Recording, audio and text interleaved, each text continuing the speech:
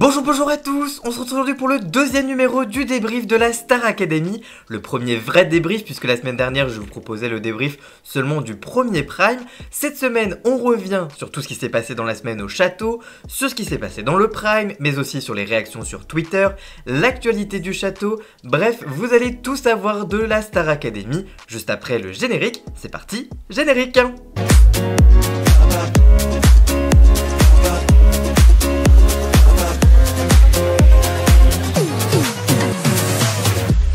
Avant de commencer cette émission, je voulais vous remercier pour l'accueil fait au premier épisode. J'espère que vous serez encore plus nombreux pour ce deuxième épisode. N'hésitez pas à le partager. Et on commence tout de suite avec le résumé de la semaine.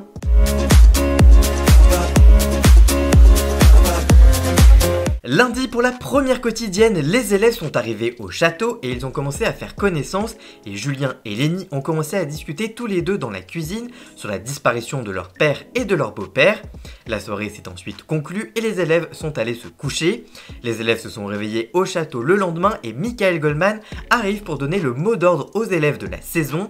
Les nouveaux académiciens ont ensuite réalisé leur photo de classe et il est 15h et Cécile Chaduto est ensuite arrivée au château pour le premier débrief de la saison.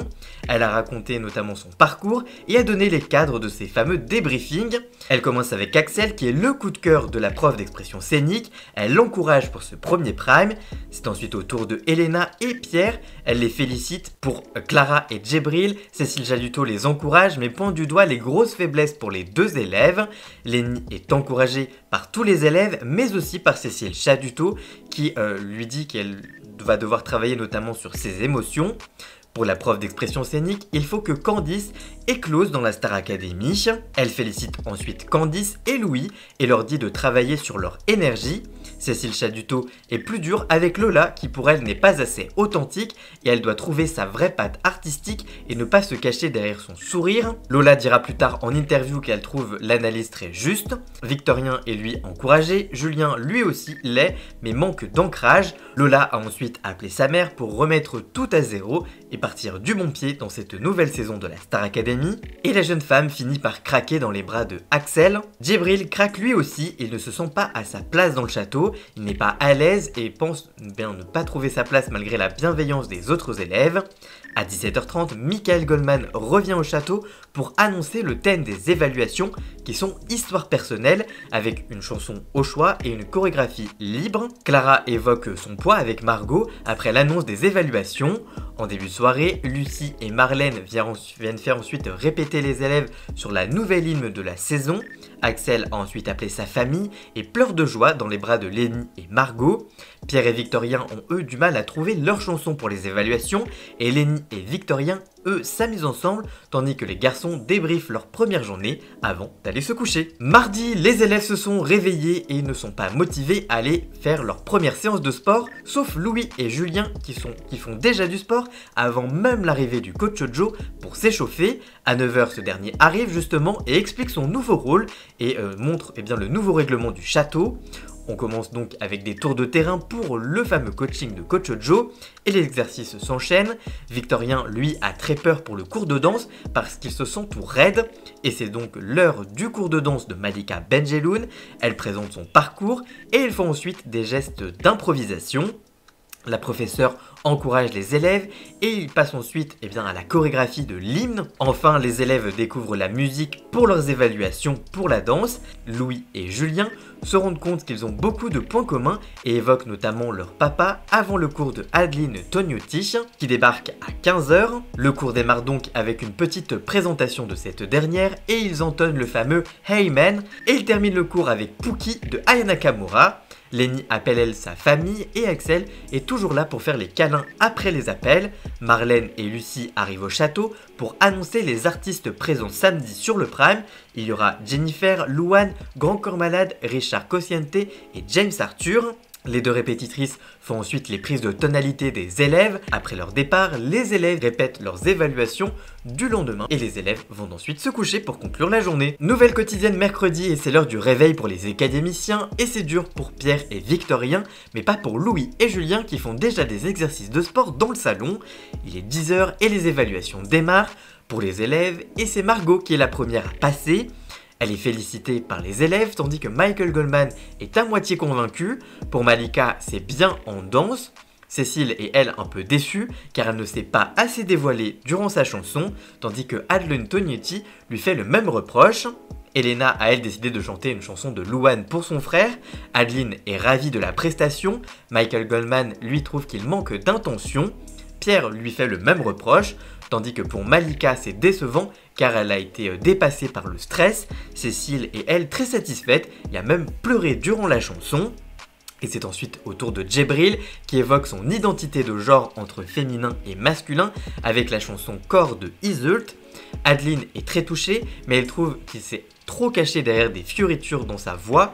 Michael trouve que c'est un peu faiblard, tandis que c'est au tour de Louis de passer pour son évaluation et il parle de la timidité. Cécile a les larmes aux yeux après la chanson, tandis que Adeline trouve la chanson compliquée et que c'était pas si mal, tandis que la danse est trop improvisée, l'évaluation faisait trop amateur. L'épreuve trouve que tous les élèves ne se rendent pas compte de l'enjeu des évaluations, notamment dans leur attitude. C'est ensuite au tour de Lenny, suivent ensuite Candice, puis Pierre, suivi de Carla, Marie-Maude, Axel, qui pleure pendant la chanson, mais réussit à aller au bout. C'est au tour de Victorien, Adeline aime beaucoup sa prestation musicale, tandis que Michael Goldman est lui aussi très content. Malika, elle, est un peu déçue parce qu'elle trouve parce qu'elle trouve qu'il s'est trop mis sur le coup de l'humour, parce qu'elle trouve qu'il a trop mis l'humour sur la danse alors qu'il est bon en cours, ils sont tous touchés par sa maladresse. Lola passe ensuite, elle fond en larmes au moment d'expliquer le choix de sa chanson, et elle craque de nouveau au moment de chanter et loupe ainsi quelques phrases de sa chanson, et cartonne pour la danse puisque c'est sa spécialité. Michael Goldman et Cécile aiment ce qui a été proposé, tandis que Malika est forcément enthousiasme en danse vu que c'est la spécialité de la jeune femme. Julien est lui le dernier à passer et évoque la mort de son père. Cécile Chaduto, Aline Toniti fondent en larmes pendant la chanson et c'est d'ailleurs le préféré de Pierre de Brouwer, tandis que Adeline le trouve très bon et Michael trouve son évaluation très réussie. Après les évaluations, Pierre et Djibril discutent de leur vie et notamment de la vie de leur vie amoureuse. Djibril raconte qu'il n'a jamais rencontré quelqu'un et surtout jamais voulu vraiment être en couple à cause de son histoire personnelle. À 16h, les élèves sont en cours avec Pierre de Brouwer pour le théâtre. Marie-Maude a du mal à se lancer. Après le cours, Lenny fait une petite mise au point côté ménage pour que tout le monde participe. En début de soirée, Lucie et Marlène arrivent au château pour faire répéter une chanson pour la semaine de la lutte contre le harcèlement scolaire qui sera chantée lors du prime. Après les répétitions, Louis et Margot se rapprochent sur le canapé et la journée se conclut. Une nouvelle journée se lève sur le château de la Star Academy. Lenny et Axel se réveillent un peu du pied gauche parce qu'ils ont passé une mauvaise nuit. De son côté, Margot a une prémonition d'être nommée. À 9h, c'est le coach Joe qui arrive pour son cours de sport. Après le cours, Lola et Lenny mettent les choses au clair avec Margot et Elena sur le ménage de la salle de bain qui laisse à désirer. Et c'est le moment du cours de Adeline Tognuti qui apprend aux élèves à bien tenir leur micro. Axel est content de la séance et se sent plus à l'aise dans la posture de chant. À 14h, c'est Louane qui arrive au château pour la première masterclass de la saison. Elle leur parle de la célébrité, de ses dérives. Ils chantent ensuite tous ensemble le jour 1 pour conclure ce beau moment. Michael Goldman arrive au château pour annoncer les nominations. Et les nominés de la semaine sont Louis, Djibril et Margot. Les élèves réconfortent ainsi les nommés et vont voir les commentaires dans la salle de danse. Djibril est ensuite le premier à aller voir le directeur après sa nomination. Ils évoquent ensemble la pudeur du jeune homme. Louis vient ensuite et Michael Goldman évoque avec lui l'amateurisme de Louis, notamment sur le début de sa prestation vocale. Enfin, Margot est la dernière à aller dans le bureau du directeur. À sa sortie, elle comprend un peu mieux ce qu'elle a loupé dans son évaluation. Pendant ce temps, les autres élèves passent du bon temps et répètent l'hymne de la saison. À 18h, ils ont cours avec Cécile Chaduto pour l'expression scénique. Elle met les choses au clair concernant l'entrée des élèves lors des évaluations qui laissaient à désirer. Carla, elle, est félicitée par Cécile Chaduto, tandis que Candice est très touchée par la remarque de sa professeure. Elle décide d'ailleurs de garder la jeune femme à la fin du cours pour lui expliquer ce qu'il s'est passé durant le cours. Candice se confie notamment sur le harcèlement scolaire qu'elle a subi et la timidité qui la ronge. Marlène et Lucie viennent ensuite annoncer aux élèves qui chantera avec les artistes. Margot appelle ensuite sa mère et la jeune femme fond en larmes car elle est assez déçue. Après ça, un petit groupe d'élèves décide de faire des mimes dans la cuisine et les élèves finiront par aller se coucher. Une nouvelle journée démarre au château de Damary-Lélis et les élèves se réveillent pour une nouvelle journée avant d'aller au cours de théâtre avec Pierre de Broer. Les élèves doivent y raconter des anecdotes et ils doivent deviner si celle-ci est vraie ou fausse. Avant le cours de danse, Louis et Axel donnent un gage à Lola qui devra faire le, geste de Leila Bekti avec le peigne géant dans LOL qui ressort. Le, le cours démarre et la jeune femme réalise son gage. Le cours porte sur le posing dans les chorégraphies. Pendant le cours, Coach Joe vient parler de la salle du public aux élèves. Et il vient également parler avec Axel pour savoir où il en est dans son aventure. En fin d'après-midi, Marlène et Lucie débarquent pour faire écouter l'hymne au château. Les élèves répètent ensuite une collégiale pour les nominer. Et Marie-Maude craque car elle ne se sent pas capable. Victorien, Axel, Pierre et Julien retrouvent ensuite Malika pour travailler la chorégraphie pour partir un jour des To Be Free qu'ils interpréteront lors du Prime. Et le retrouve Lucie pour répéter la chanson. Louis est triste de ne pas pouvoir répéter avec les garçons, et c'est ensuite au tour des filles de répéter une chorégraphie avec Malika. Après le cours, les filles répètent de nouveau leur choré dans leur chambre, tandis que les nominés sont invités à aller dans la salle du public pour faire passer leur message. Clara appelle ensuite sa meilleure amie, tandis que Louis appelle ses parents qui lui disent d'écouter les autres et de travailler plus. Le jeune homme est très déstabilisé et réconforté par les autres dans la chambre, et c'est ensuite une nouvelle journée qui se conclut au château de Damary Délice. Dernière quotidienne de la semaine, samedi, et les élèves se réveillent et ils partent très tôt direction les répétitions en plateau, tandis que les nominés, eux, restent au château toute la journée. Louis fait lui un peu de rangement en attendant, et à 9h, le coach Joe débarque pour une séance spéciale avec les nominés. Les élèves arrivent sur le plateau et découvrent les loges et les costumes. Arrive elle donc sur le plateau et répète avec Jennifer. Pendant ce temps, au château, Cécile Chaluteau donne son cours d'expression scénique à Louis, Margot et Djibril pour leur apprendre à faire de bonnes entrées de scène et interpréter au mieux leur titre pour se défendre samedi soir. Les garçons répètent les To Be Three sur le plateau 217, puis c'est au tour des filles de répéter. Victorien retrouve lui Grand Corps Malade pour chanter et répéter le titre du Prime. Le jeune homme est très stressé et fait quelques fausses notes, mais le manager de Grand Corps Malade propose à Victorien de venir sur scène avec l'artiste lors d'un des futurs concerts de ce dernier. Les élèves continuent de répéter toute la journée sur le plateau, et notamment Axel et Candice, avec la chanson de Maël contre le harcèlement scolaire, et la jeune femme finit par craquer au cours des répétitions. Après ça, les élèves sont de retour au château et débriefent leur première journée de répétition avec ceux restés au château.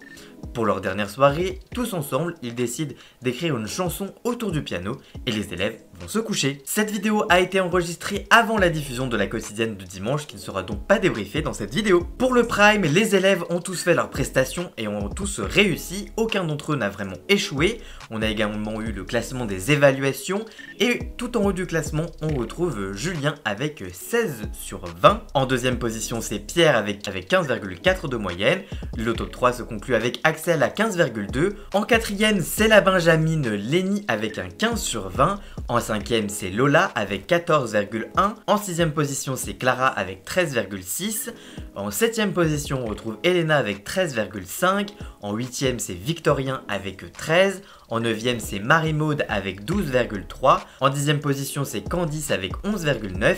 Et les nominés, 11ème Margot avec 11,5. 12ème Louis avec 11,3. Et le petit dernier Djibril à 10,9. Les académiciens ont eu la surprise de finir une des collégiales avec Vita, la marraine de la saison, et un message du parrain James Blunt qui sera là la semaine prochaine sur le Prime. Et à la fin du Prime, on a appris que c'est Louis qui quittait la Star Academy après une seule semaine de compétition malheureusement. Margot a été sauvée par le public et c'est Lenny qui a tranché et a sauvé Djibril. Voilà donc pour le résumé euh, de la semaine et du Prime. On passe maintenant au point audience de la semaine.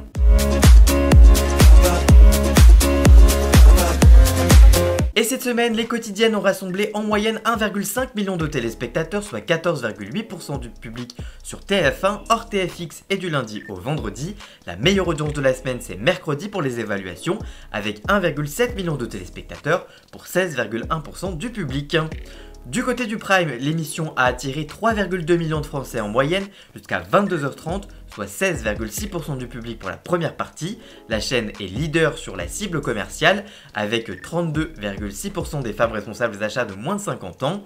La deuxième partie de l'émission a été regardée par 2,6 millions de personnes, soit 18,9% du public et 34% des ménagères. Samedi dernier, le prime de lancement de la nouvelle saison avait attiré 3,8 millions de téléspectateurs, soit 18,7% du public et 31,1% sur les femmes responsables d'achat de moins de 50 ans.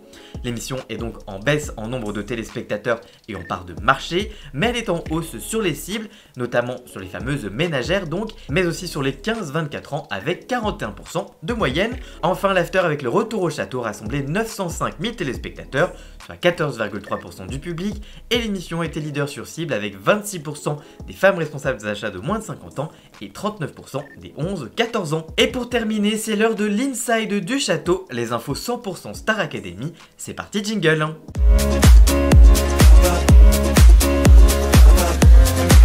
Direct or not direct. Samedi dernier, la production a dû anticiper l'arrivée des candidats au château de Damary-Lélis, situé à 61 km du studio 217 où se déroule l'émission. Pour ce faire, TF1 a commencé le tournage à 19h13, soit près de 2 heures avant la semaine dernière, pour que les téléspectateurs puissent vivre en direct les images de l'arrivée des élèves dans la foulée du prime, dans Star Academy l'entrée des élèves en live. Mais à partir de cette semaine, l'émission est enregistrée avec un décalage de 30 minutes seulement. L'annonce des résultats, elle, se fera en direct, enfin avec un léger différé habituel pour TF1 comme toutes ces autres émissions en direct. Une pause technique à l'issue de la dernière prestation des élèves eh bien, a eu lieu cette semaine avec, comme vous l'avez vu, une pub de 1 minute avant que Nico Sayagas ne reprenne le cours du programme pour dévoiler le ou la candidate éliminée parmi les trois eh nominés de la semaine qui étaient, je le rappelle, Louis, Djibril et Margot. Jean-Jacques Goldman a-t-il donné son accord pour l'hymne de la saison? Ce samedi 4 novembre, les téléspectateurs ont découvert les 13 candidats de la nouvelle promotion de la Star Academy et l'hymne qui n'est autre que J'irai au bout de mes rêves de Jean-Jacques Goldman, le père du directeur de la Star Academy Michael Goldman. La pression sur les épaules des élèves est donc à son paroxysme et tout le monde se pose la question, Jean-Jacques Goldman a-t-il donné son accord pour que sa chanson soit l'hymne de la saison? Interrogé par le Parisien, Mathieu Vergne, le coproducteur de la Star Academy, indique, je cite, Oui, nous avons eu son accord en aval pour la nouvelle version.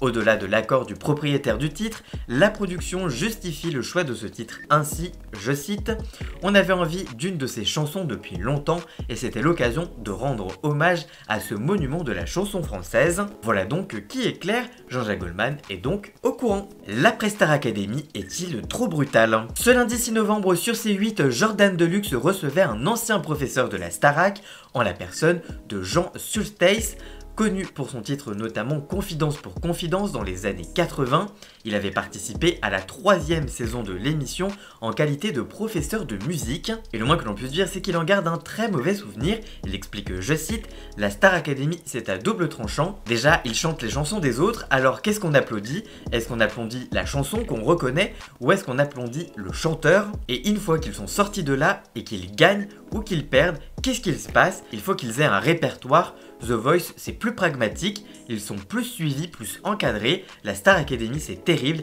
ils sont jetés comme des chiffons dans la nature. Et voilà, on tombe de très haut quand même, je n'adhère pas à cette conception. Voilà donc qui est dit. On passe maintenant aux réactions Twitter du Prime, c'est parti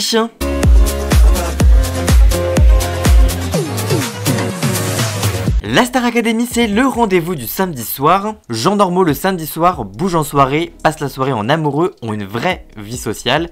Élite le samedi soir, posés confortablement devant TF1, tel de bons retraités.